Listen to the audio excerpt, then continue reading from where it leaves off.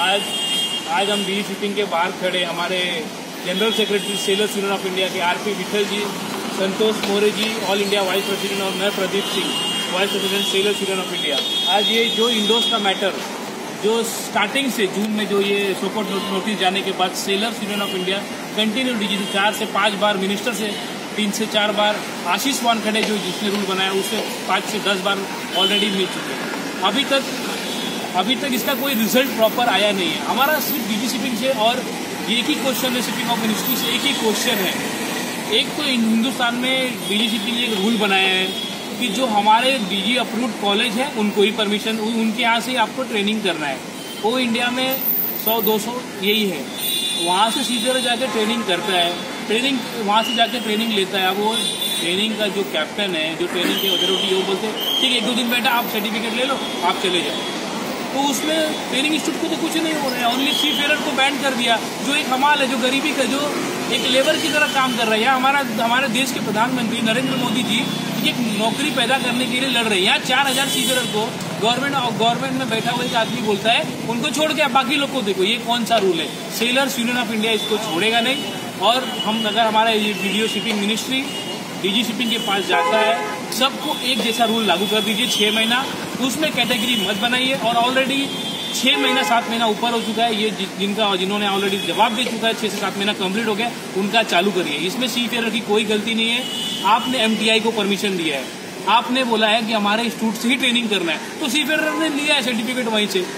अभी मेरा एक नॉर्मल मैं ह्यूमन बींग हूँ। मैं जहाज़ में नौ महीना काम करके आया और मैं आया यार, अभी तो सात दस दिन का ट्रेनिंग करना पड़ेगा। अभी मैं क्या करूँ? अभी मैंने इनके पास गया एक एजेंट है, भाई मेरे को ट्रेनिंग इंस्टीट्यूट से मिलेगा। उसने अलाउड कर दिया हाँ भाई सर्टिफिकेट ले लो।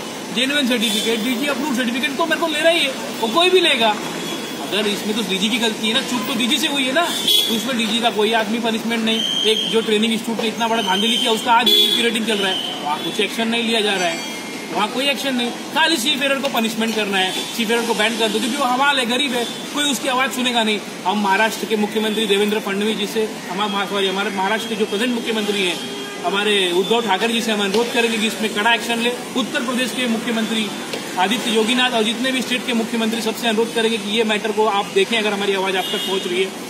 शिपिंग मिनिस्ट्री से बात करें और इसको तुरंत चालू कराया जाए। ऑलरेडी सी फिर इतना फर्स्टेड अपने जो स्कूल में उनके बच्चे पढ़ रहे हैं, उनको निकालना पड़ रहा है। क्योंकि उनके पैसा नहीं है, वो जहाज़ में नौकरी करने वाले हैं हमालगिरी करते जहाज़ पे मजदूरी करते वहाँ से पैसा लेके आते फॉरन से पैसा लेके आते हिंदुस्तान में जमा कर डॉलर लेके आते उनकी नौकरी बंद कर दिया। चार हज़ार लोग परेशान हैं। उनके लिए मैं रिक्वेस्ट करूँगा जो भी ये वीडियो देख रहा है, चाहे वो नॉर्मल नॉर्मल हो, चाहे वो सी पेरर हो, उनके लिए ज़रूर प्रे करें और उनके लिए प्रार्थना करें और अगर वो दमदार है तो आगे मिनिस्टर तक ये बात पहुँचाए कि तुरंत उनका उनका इंडोर्समेंट इमाइग्रेट तुरंत चालू कर दिया जाए और उनको पनिशमेंट छह महीने के ऊपर हो चुका है।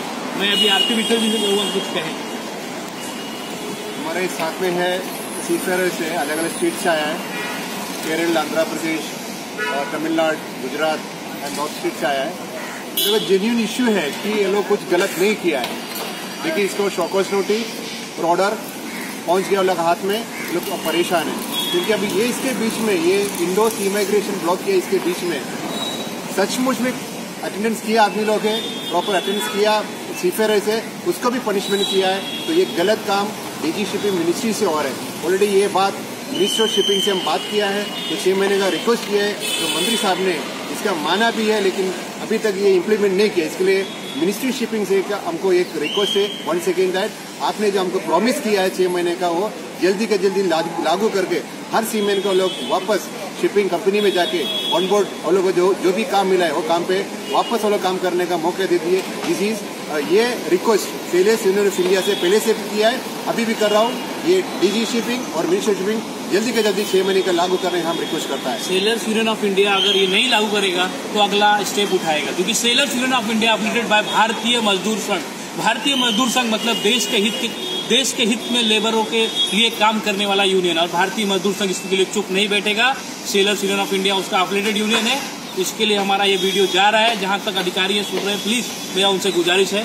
इसको ओपन कर दिए धन्यवाद। भारत माता की जय। भारतीय मजदूर संघ जिंदाबाद। सेलर सीरन ऑफ़ इंडिया जिंदाबाद। नमस्कार।